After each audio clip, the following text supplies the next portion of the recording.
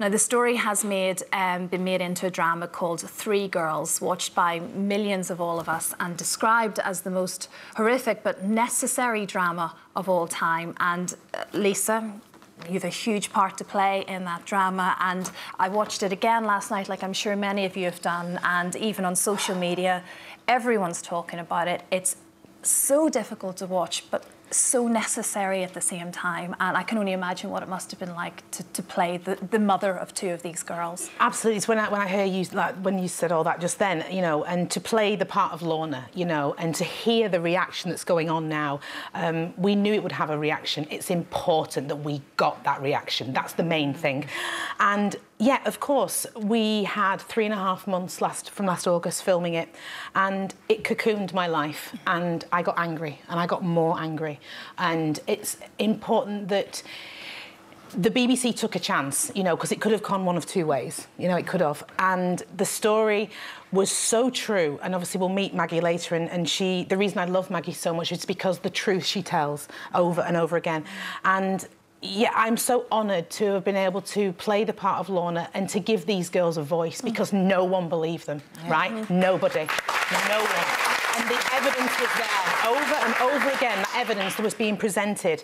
And I remember the day when obviously we we met with the director of the phenomenal team and they, they were so supportive.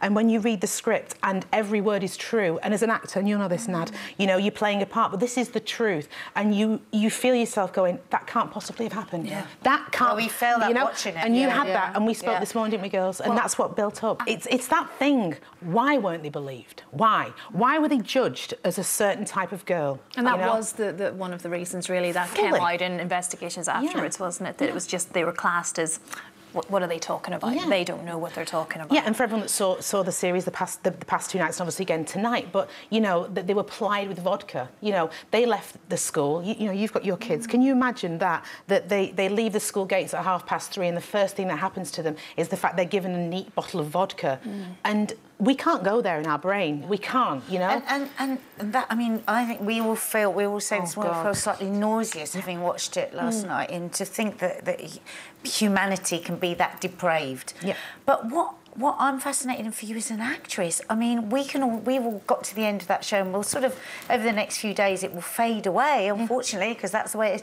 But if you've actually lived that story, yeah. how, how, how, how are you feeling? Uh, well, I, I have to go back to last August and September when I was there with the real life me, you know, yeah. the, the, the, and you and you met the oh, girls. Oh, yes. you know them all, don't you? I now? still now, yeah, yeah and and, and the real life me to get that recognition to say that you know we've done her story proud and getting the justice out there is is, is wonderful that I was able to portray that. You know, mm-hmm. it's not about me; it's about the girls. Yeah. It's about the girls, and and I think seeing their you response. You must be haunted by yeah. it. That's mm. that's it and is. Maggie. I mean, yeah. how do you how do you continue on with because obviously you know a whole lot more even that was that was put in the drama. Some of the stuff you've told us today yeah. left us all reeling. Really, some of the. I think you have a mechanism, and, and Maggie was brilliant because I had I was so lucky because obviously we do a 12-hour shoot day um, and doing the scenes, but I would have Maggie to lean on and go how do I cope? Why am I feeling this? Why am I feeling so angry? And the hardest ever that I've ever had to feel as an actress was um, if you saw last night's episode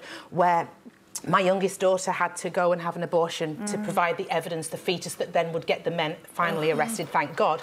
But the real life me and the real life Liv's character um, was was there behind the monitor, and we were just sat there as actors going, "No, we can't get upset, we can't get angry." Do you know why? Because by portraying this scene and acting it to the best of our ability will help thousands. And what I've heard over and over again, like literally from the show and before the show, is the fact that we've called this three girls. Okay, you've got Holly and you've got Amber and you've and you've and you've got um, you've got Ruby. But what we have to remember is it's three girls you'll probably realise it's probably 2,300 girls. That they, that they know That of. they know and of. so then there's a whole God. other... Yeah. Dozens and dozens or hundreds we don't know yeah. that wouldn't have told anyone. Absolutely. Anyone. And it's still happening in all of these it's places. still going And you'd yeah. heard the rumour about this before you actually made the film, did Absolutely. So, um, obviously, I'm from Manchester, born and bred in Bury, and obviously Rochdale is 11 miles from my home. And mm. I remember the period of time completely. We'd wake up the morning news, it'd be there, and all the, you know, the reporters were, were everywhere.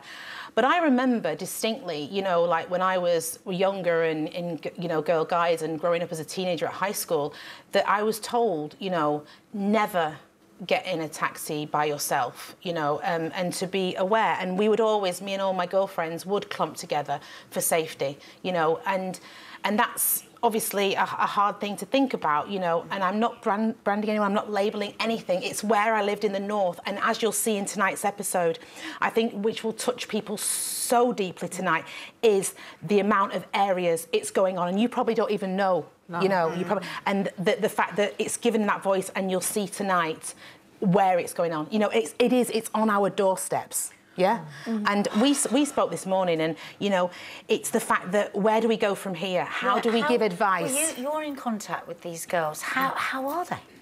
Um, are you able to say? I just want the girls to stay safe. They, they've seen it. They're over the moon with, with how it's been portrayed. They, yeah. It's their story. They heard, hopefully, they feel yeah. heard. They exactly. do. They feel that, yeah. and they feel that justice has been done. And, and for us, yeah.